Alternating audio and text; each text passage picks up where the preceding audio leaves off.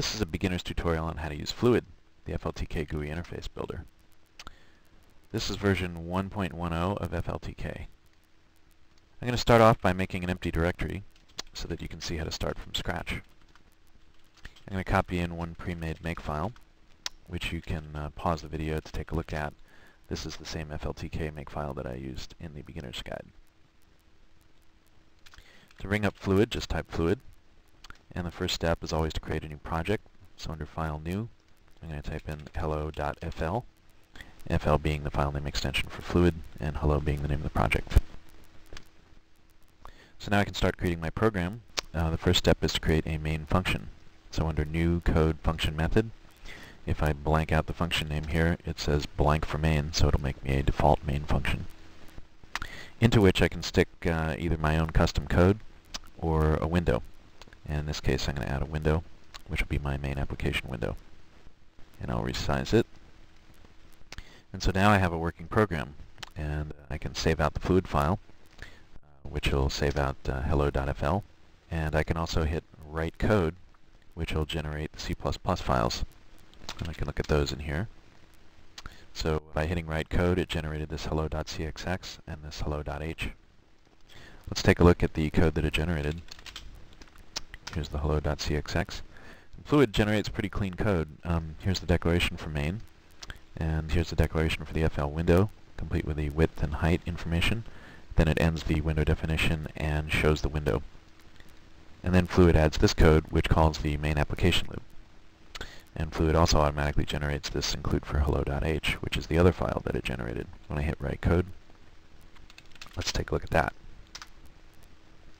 Pretty simple file. Um, Fluid automatically adds the include for fl.h, and because I added a window to my application, it automatically includes fl window. And it also generates this little bit of code which uh, prevents include file recursion.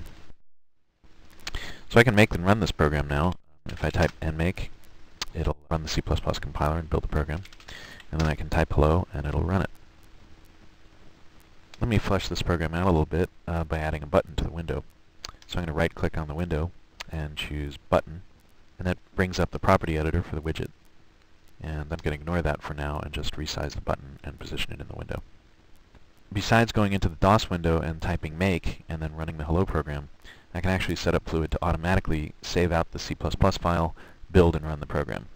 Under shell execute command, um, I've got it set up here to open a DOS window, run make to build the program, and if it's successful, it runs the program and exits. And uh, if it's not successful, it pauses so that the DOS window stays open while I can look at the error messages. And um, here is where I can set it up to automatically save the FL file and the write code option so that it generates the C++ code before it runs the make. So if I hit this button, it'll actually uh, save out the files, run make, and run the program. There's also a shortcut here so that it doesn't pop up that little interface, uh, execute again. And so if I just hit Alt-G, the little shortcut here, which I'll do now, it'll actually build and run the program. So here's the uh, compiler window, uh, complete with the output from the C++ compiler. And if my program were to print anything out, that would appear here. And uh, then it runs my program. Let me add a callback to this button by double-clicking on it, hitting C++, and typing in the name of the callback function, which I now need to write. So uh, let me go up here, click on main, and then say new function method, and I'll give it that function name, callback, and I'll pass in the uh, callback function, which is an FL widget pointer, followed by a void pointer. And I'll cast this to be a static void function, because all callbacks. And now I'm going to add some custom code to this, so I'll choose new code, and uh, I'll just change this default print hello world here to be button callback. So now I've made a little function, uh, complete with some code in it, and I'm going to hit the F2 key to uh, move it to the top so that it's declared above main. And uh, because I'm using the printf statement here, I have to include standard.io.h because that fluid won't do that for me automatically. It doesn't know about anything that you put in the custom code window. But I'm just going to go ahead and build the program anyway so I can see the error message. And here it is. It's warning me that uh, printf uh, is undeclared. So let me add and include for standard.io.h. So I'm going to click on main go into new code declaration and type in include standard.io.h. Then I'll hit F2 to move it to the top of the program. So now when I hit Alt-G, it'll build the program successfully and run my program. And now when I click on the button, I'll get my little button callback message here. We also add a callback for the window itself. So let me click on the window. So let me add WinQuit callback, which will be the callback that's invoked when I click on the X in the window, because window callbacks um, are invoked when you hit the X to kill the program. So let me just make a copy of this button callback here. So I'm going to select it and hit Control-C, Control-V to make a copy. And then I'll just the function name to be uh, WinQuit. And I'll change the code to say window quit callback. And because uh, I want it to actually kill the program, I'm going to put in an exit here. And because I'm using exit, I have to include uh, standard lib.h, so I'm going to make a copy of standard I.O. here and change this to standard lib. And then hit F2 to move that to the top of the program. And I'll take the WinQuit callback and move it to the top so that all my callbacks are above main. And now I'll hit Alt-G. And uh, now I've got the button callback and the callback that happens when I hit the X button. And it's probably better to see that from this window because the, the DOS window disappears. When I hit X, it prints window quit callback and then exits the program. Let's take a look at the properties editor. If I double click on the button and click on GUI, I can change the label of the button, which changes the label interactively as I type it in. Um, I can change the visibility of the button by uh, just toggling it here, and I can also change the active state of the button so that it grays out. And these will be the initial states of the widget when the program is executed. You can set the tooltip to this is a test uh, which will appear when the user hovers the mouse over the widget. And uh, let's compile the application just to see what that looks like. So now when I move the mouse over the widget, the tooltip comes up. Uh, one other thing you can change uh, for the window is uh, you can set it to be resizable. Uh, if resizable is off, when you run the application, the window will not be able to be resized by the user clicking on the corner of the window. Uh, but if you have that turned on, then the user can resize the window by clicking on the edge and dragging. For the button, under Style, you can change the font size just by dragging the number, or you can type the number in manually. Uh, you can set the font to something different, uh, Courier or whatever. Let's leave these at the default. Um, under C++, you can set the name for the variable for the button. In this case, if I type in uh, test button, this will be the variable name assigned in the C++ program. And if the public button is on here, it'll become a global to the application so that all parts of the application can see this by its variable name. And uh, if we take a look at the code that's generated, let's compile it really fast, and then take a look at the code, you can see where it's assigning the button and using the variable name that we assigned. And up here at the top is the global declaration for the button so that uh, other parts of the application can refer to it by name. One of the other things you can change in the properties editor is the user data that's passed to the callback. Uh, user data can be a number or it can be a string. Uh, in this case, test number one and this will be passed as the second argument to the callback. Uh, let's modify the button callback to expect a second argument. Call it user data. And in here I'll print out what the user data is. And I'm going to cast it as a const char because um, when it's passed in, it's passed in as a void. So uh, to be correct with the compiler, we should cast this.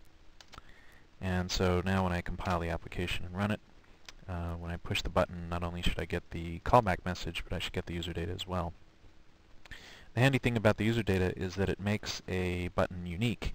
For instance, if you have multiple buttons, uh, like why don't I make a copy of this button by hitting Control-C, Control-V, and uh, one of the things that copying will do will copy the callback as well. So both buttons will be calling the same callback, but uh, we can change the user data to be unique. So this way um, you can set up many of your buttons in your application to all be calling the same callback, but each one will be passing different user data. so that your button callback can procedurally determine which button you pushed. Let's compile that. So now when I push this button, I get test number one. When I push this one, I get test number two. This is also useful for file menus, um, like for instance in the fluid file menu here. All these items can be invoking the same callback, but each item can have a different user data associated with it. Let me add a file menu to this application. Um, select the window and right click on it and choose menu bar which will let me make a new menu bar. And then let me put a few uh, submenus in this menu bar. Uh, right click on it, choose submenu, and I'll call it uh, File. So now I have a File submenu with nothing in it. And let me add on a new menu item. call that one Save. And so now I've got one menu item inside File, and if I make a copy of that, Control-C, Control-V, and change this to be Quit, now I have two menu items. And what I can do is modify these to both invoke the same callback, but pass different user data. So let me modify these by selecting them both, hitting F1, and going into C++, making them both invoke the button callback, and setting the user data for one of them to be file, save, and for the other one to be file quit. So now when I run the application uh, and push these buttons, uh, I get a different message for each one. And inside the button callback, I could procedurally test for these different strings and act accordingly. So let, me now simplify the application back down again. Let me get rid of everything here and just leave a window. So let me go back to just having a button and uh, setting the callback to be button callback.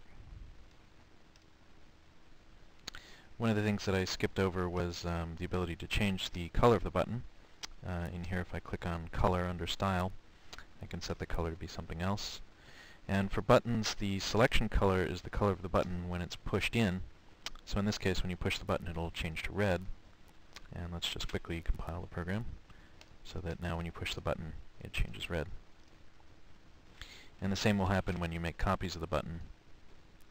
Both buttons will, in this case, inherit the same color changes.